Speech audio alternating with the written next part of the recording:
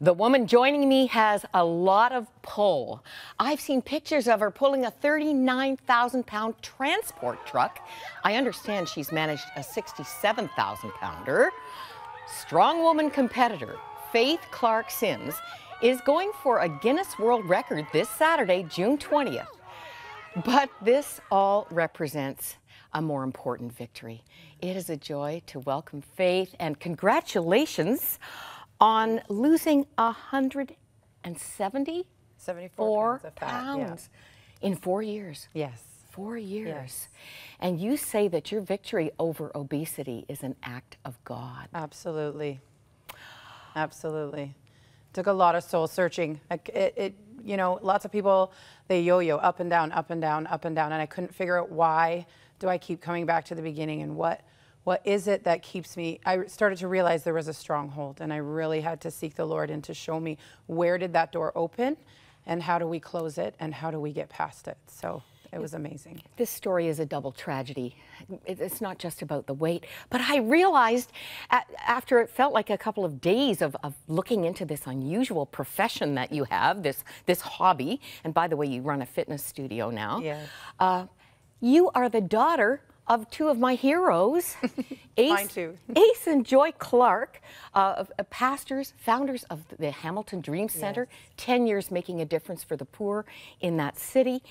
And you grew up seeing miracles. I mean, your, your dad was an outlaw biker, your mom a biker chick, and look what God did in their lives. And the story is just full of God at work. Amen. What happened to derail you?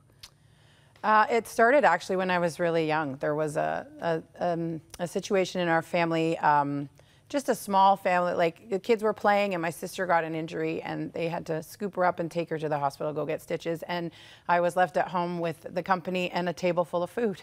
And um, it- God had to take me back to that place when I was, you know, 25, 30 years old to figure out it, that fear and then I turned to the food. And that was the first time I had turned to food for comfort. And I realized in that moment that the enemy had come in and just created a stronghold. And so over time every time I was stressed or afraid those kinds of things it just compounded and compounded and compounded and became a food addiction uh, a very serious um, food addiction I would eat till I was physically sick and you just you know you shouldn't you know you're unhealthy but it, I really felt powerless for a long time to change.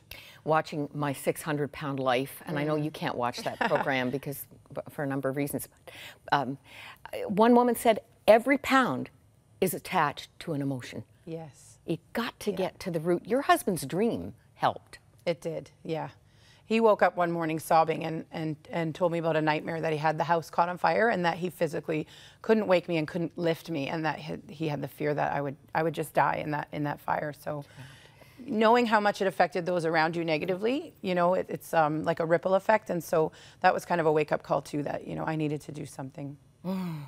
and boy did you ever do something where did you even get an idea to pull heavy things Well, um, at one point I was bedridden, and so I really knew I had to do something. And so when I started to get physically fit and lose weight and started having more energy and realized just how capable I was of doing strong things, then I entered a strong competition to celebrate my 40th birthday and having lost that, you know, initial 100 pounds and feeling fantastic. And that's where we started pulling things and lifting heavy things and carrying, you know, crazy amounts of weight. So and how much muscle mass have you put into a body that basically didn't have any Yeah, I didn't have any at all. I've put on 62 pounds of lean mass and dropped 174 pounds of fat in the last four years. So so tell us what you're doing on saturday this Saturday, uh, out at the Hamilton, the Canadian Warplane Heritage Museum, it, they have an event called Skyfest, and during that event, I will be um, setting a new world record for the heaviest vehicle pulled for 100 feet.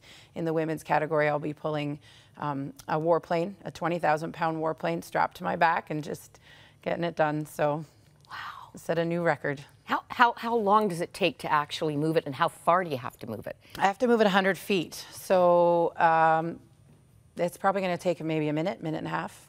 It's a little more difficult than the trucks, so it takes a little bit more work. Unbelievable. Now, this is not just a spectacle.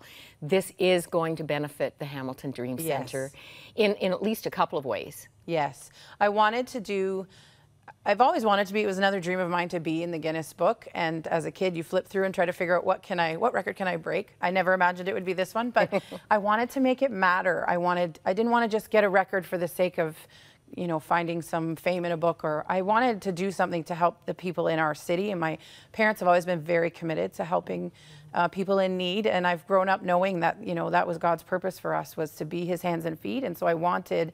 I wanted this event to matter. And so it's become a fundraiser for the Dream Center. People can donate, they can bring non perishable food items and help us fill the shelves and, and continue to feed families. This is terrific. I, I, was moving to read that you identify with people who feel trapped in poverty because you, for so long, were trapped in a body that was winning, taking Yeah. you in a wrong direction. It's so poignant to have you here today. We're celebrating weight loss. Yes, we're hear that. celebrating people choosing change, It's exciting. and uh, can't wait to see. uh, We want to see footage Yes, oh, of you uh, the events on Saturday. Just to remind people in the area, uh, this is on Airport Road. It's right beside the Hamilton Airport. Um, Mount Hope is actually the address, right, for the Canadian Warplane Heritage Museum. And if you're going, be sure to take a donation of food, non perishable food, and uh, hopefully financial support for a great work. Mom and dad are here. Boy, do we ever need to get them back here for a visit. Well, this has made my day. I hope it's made yours.